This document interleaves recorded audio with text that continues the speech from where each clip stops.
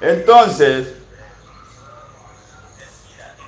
un cazador tiene que tener cuidado una vez que ha dominado y ha llegado al, al nivel máximo de presa experta, de presa que, digamos, imagínate un conejo que nunca nadie lo cazó.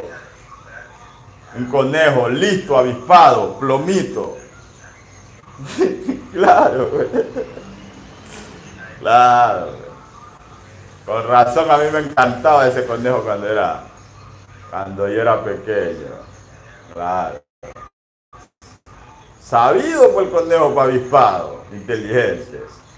Entonces, imagínate un conejo que nunca es casado. Una vez que el conejo nunca es casado, el conejo ya puede transformarse en un cazador. ¿Sí entiende?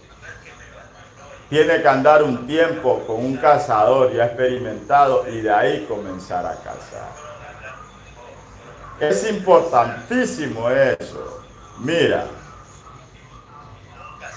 si alguien se enfrenta por, así sea como te digo, por error, así sea por error, se enfrenta con un león, sin querer se encuentra en el camino del león. Y si el león no lo devora, si el león no lo devora, ni el león ni el parecido al león, este, este tipo está apto, sumamente apto para irse a cazar leones.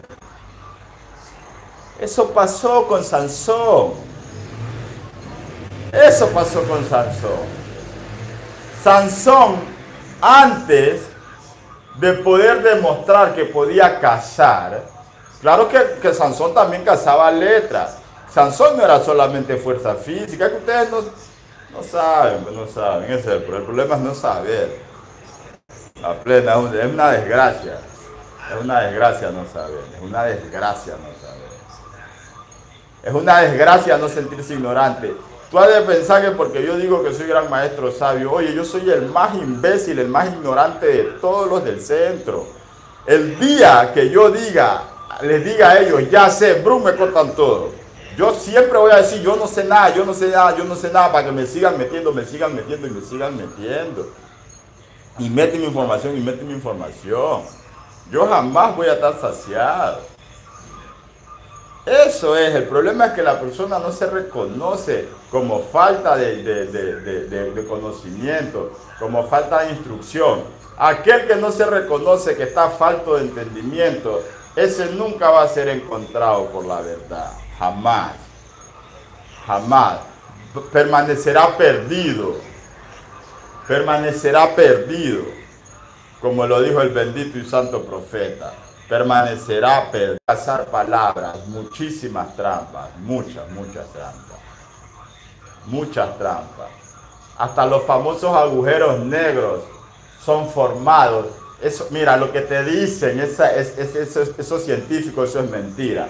Los agujeros negros son formados por los sonidos, por choques de sonidos. Por eso son, son, son, son, mira, mira. Cuando explota, digamos, imagínate que explota algo. Que explota algo. La bulla grande, la bulla grande, la bulla, el sonido grande, suprime a los otros sonidos lo, lo, lo, como, que si, como que si los absorbe ya así.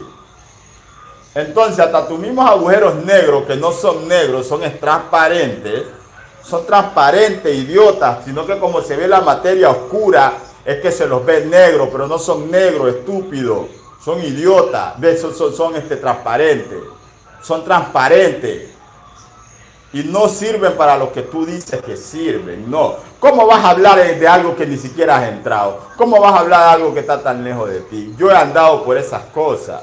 He entrado, he salido. estaba antes de que eso existiera. Entonces, no son ni siquiera negros, son transparentes. Son transparentes. Todas esas cosas se pueden crear. Todas esas cosas se pueden crear se crean. Bueno, se pueden crear, digo, porque eso es de acuerdo a la cantidad de choques de sonido con las cuales se encuentren. Entonces, verá que yo le doy las advertencias para el que quiera